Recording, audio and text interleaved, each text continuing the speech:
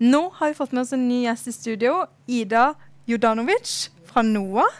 Velkommen. Tusen takk. Veldig hyggelig å være her. Takk for at du kunne ta turen. Kan ikke du fortelle oss hva NOAH er for noe?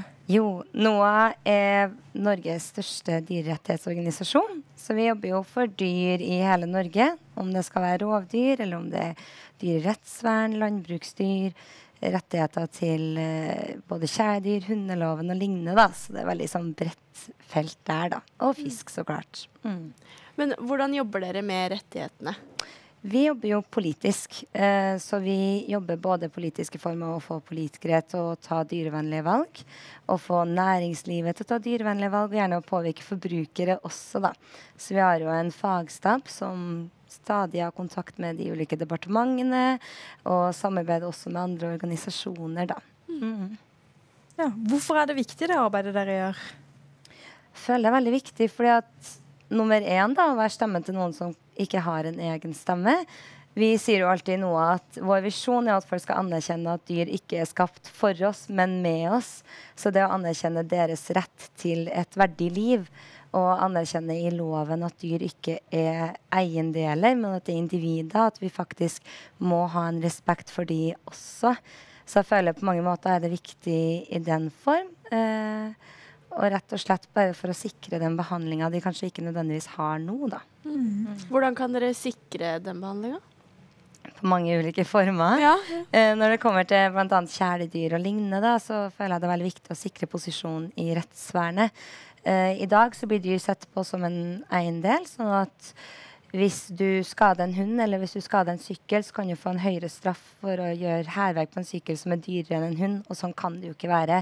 Så både i form av det, da, å styrke det, men også å bl.a. snakke om rovdyrene som at de hører hjem i naturen vår, og at hele naturen er et økosystem.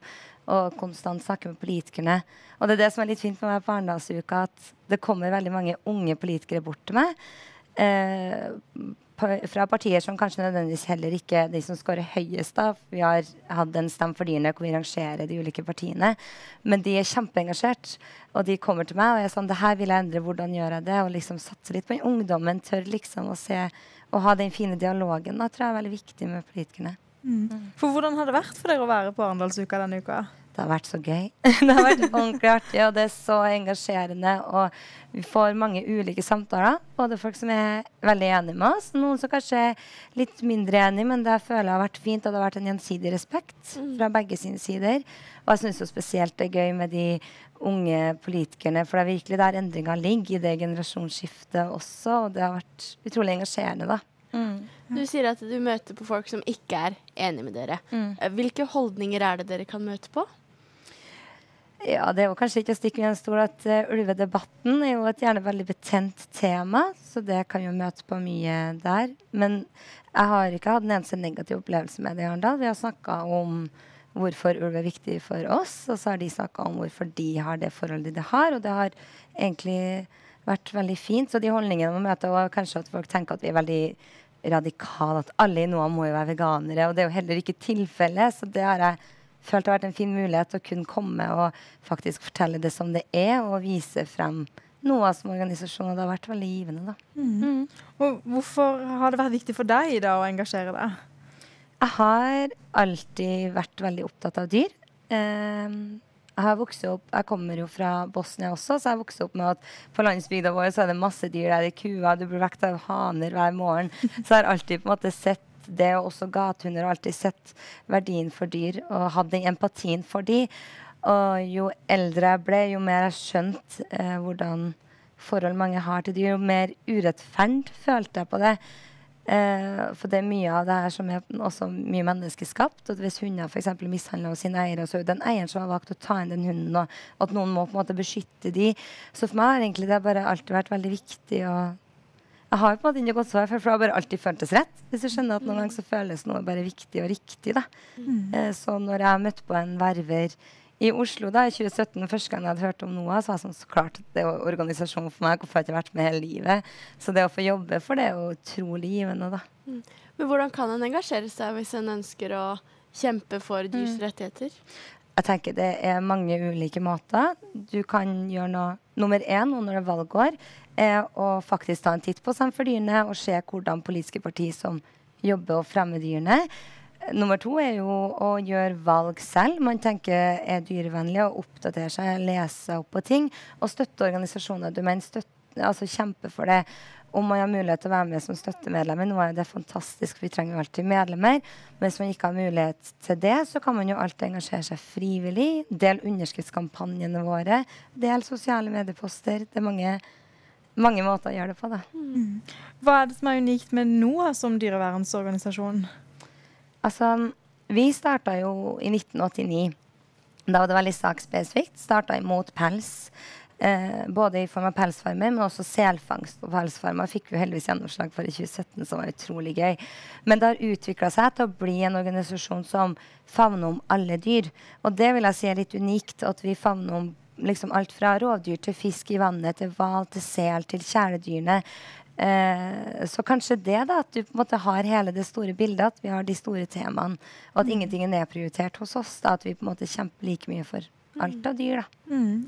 Og hvordan jobber dere rett og slett med, med å forbedre de te mm. temaene som dere er engasjert i? Vi har jo en fantastisk fagstab. Jeg kan ikke skryte nok av de. Vi er veldig heldige som organisasjon at vi har både veterinærer og biologer og jurister som jobber internt. Sånn at vi for det første anmelder Vi har et mål om å anmelde 100 dyremishandlingssaker i året, og det klarer vi jo vel så det. Så det da, at vi alltid er på ball der, vi støtter opp under hvis det f.eks. har vært fæle tilfeller med hundeloven, at vi støtter eiere i det, at vi tar rettssaker. Vi hadde jo nettopp en rettssak mot Miljødepartementet, for det var en skyting av en ulveflokk i ulvesonen, og vant den, og det føler jeg setter presedens.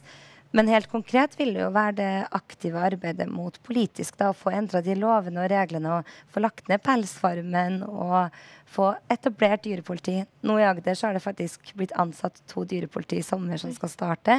Så det er, litt, det, det er jo på en måte et langsiktig arbeid, og det er alltid små steg. Så alt fra møtevirksomhet til også å engasjere i fakkeltog og lignende. da. Mm. Men jeg lurer på, uh, fordi jeg har jo sett mange sånne videoer. Uh, mm. jeg, altså, jeg, er ikke helt sikker på om det alltid er noe som har mm. lagd de, men hvor du ser også hvordan det er i andre land. Mm. Engasjerer dere dere utover landegrensene? Vi har jo samarbeid med ulike dyrevernsorganisasjoner i utlandet. Blant annet når det kommer til pels, så vi jo eh, har et stort nettverk som heter Against Fur Alliance, hvor du samarbeider med uh, ulike organisasjoner. Sånn at vi har jo alltid en dialog, men vi har jo på en måte ikke rett til å endre noe annet enn norsk lovverk. Og hvis vi ser at det ikke er godt nok i Norge, så er det viktig for oss å på en måte ta tak her og nå eh, et steg av gangen også, da. Mm. Men vi tror veldig på samarbeid med andre organisasjoner også, da. Mm. Samarbeider dere også med organisasjoner i Norge, eller, eller, konkurrerer dere mer, eller hvordan fungerer det? Absolutt. Vi har jo alltid en god tone rundt det, og jeg vet at det begynner å bli ganske mange år siden jeg har hørt at jeg skulle ønske jeg jobba der, da, litt sånn lei meg for at jeg ikke gjorde det. Men da hadde Dyrebeskyttelsen i Oslo veldig mange katter. Så da hadde vi et katteprosjekt i NOA hvor vi hadde sånn 60 katter rundt på kontoret. Så det, mm. det er jo en god dialog der òg. Jeg føler mm. Vi kjemper jo for samme sak, så gjør vi det kanskje på ulike måter, men at det er viktig å være støttende overfor det. da. Mm. Og eh, hvis det er noen her på Arendalsuka eller noen som ser på, som tenker at eh, dette bryr jeg meg om, mm. hva kan de gjøre? De kan jo komme og snakke med oss. Vi har jo stått der hver dag og snakka med mye flotte folk. De kan bli med som medlemmer hvis de har lyst og mulighet til det. Eller ta seg et magasin. Kanskje eh, snakke litt rundt middagsbordet neste gang. Hva syns du om det? Å snakke med oss i forhold til valget òg. Det tror jeg er viktig. Man snakker mye om at i år er et klimavalg. Jeg vil også si at klima og dyr henger mye sammen også. At her eh, ja, bare engasjere seg. Snakke med oss. Still de kritiske spørsmålene òg, for jeg syns alltid en, en, samtale er verdifull. Da. Mm. Så bra. Ida, tusen takk for at du kom hit i studio og fortalte oss om dette viktige temaet. Takk for at jeg fikk komme. Takk skal du ha.